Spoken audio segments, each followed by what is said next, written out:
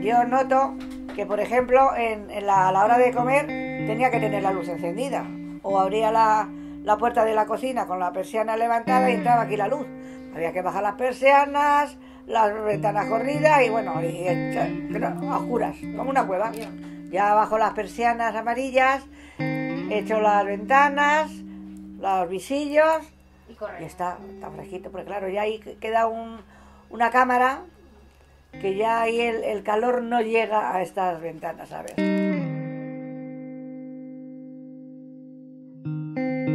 los objetivos, mejorar y que estén bien estos barrios para que os podáis quedar.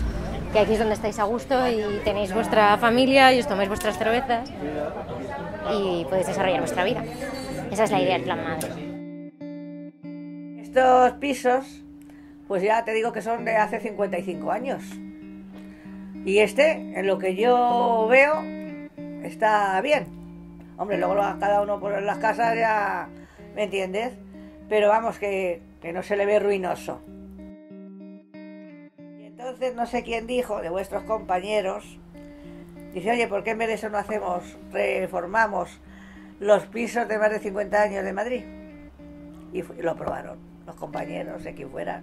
El equipo lo aprobó eso, estupendo. Digo, hombre, eso ha dado trabajo, claro, da trabajo, porque hay empresas las que estén, y eso es estupendo. decía yo Antonio, a ver la rampa, que tengo que irlo con la silla de ruedas, verás. O tengo que subir con el basto. Dice, no te preocupes, que vamos a hacer una rampa para que podáis salir de casa y tal. Claro que ha quedado fabuloso, que, es que, le, que cambia. El barrio le cambia. Simplemente este bloque le ha cambiado al barrio. Aunque en cuanto hagan más, pues tú, tú una ciudad nueva.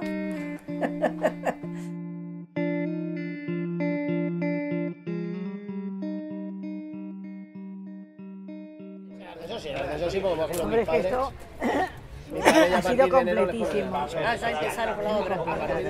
Antes tenía que pagar para que me subieran la compra y ahora pues puedo ir, como tampoco hay pereza de subir y bajar, ahora puedo ir, un, día voy, compro un poquito, otro día compro otro poquito y subo tranquilamente con el ascensor.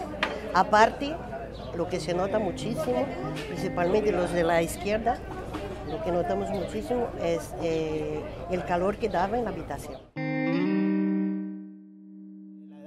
De las dos veces que yo he ido ha sido bastante, bastante rápido. También es verdad que era básicamente ir a entregar los papeles, porque ya todo venía, venía casi todo hecho.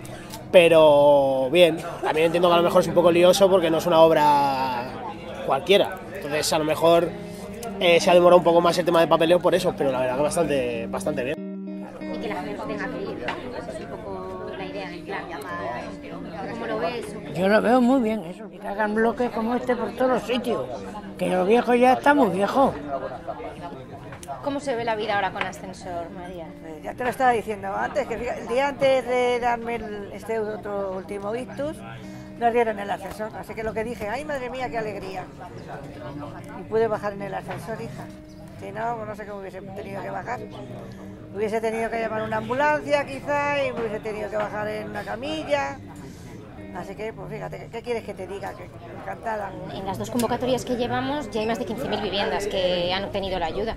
El ayuntamiento está gastando, es una inversión de 50 millones cada año. Este año vuelven a salir ahora otras ayudas con otros 50 millones. Y calculamos eso, que unos 15.000 viviendas cada año se pueden rehabilitar. Y además que estas viviendas ya sabéis que están como por todos los distritos, periféricos, eh, Latina, Carabanchel, Villaverde, Vallecas, ya sabéis, que hay edificios muy parecidos a estos y que tienen las mismas necesidades. Hay que hay que ponerles ascensor, sobre todo hay que conseguir que la gente que esté allí pueda seguir allí, no se tenga que marchar fuera, pues eso, por no tener ascensor y puedan quedarse. Además es como muy importante eh, desde el punto de vista económico porque consigues eh, empleos en un sector de la construcción que sabéis que eh, tras el estallido de la burbuja se quedaron en el paro más de un millón y medio de personas. Entonces ahora tienen un sitio donde trabajar todos esos albañiles, arquitectos y además con una característica muy buena que al final su trabajo en vez de mm, en el crecimiento de la ciudad de nuevos barrios lo que hace es mejorar la que tenemos. Esa es la idea del Plan Madre.